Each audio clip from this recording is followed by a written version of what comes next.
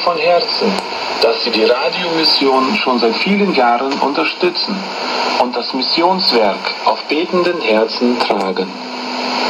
Wenn bei Ihnen Fragen entstanden sind und Sie uns schreiben möchten, so richten Sie Ihre Post an die Adresse unseres Missionsbüros.